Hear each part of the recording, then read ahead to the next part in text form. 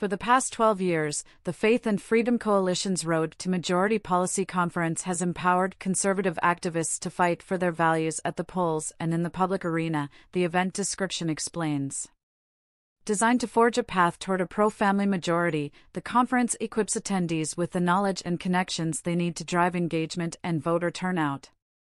This year's timely gathering will accelerate conservatives further down the road to majority ahead of the 2024 presidential election.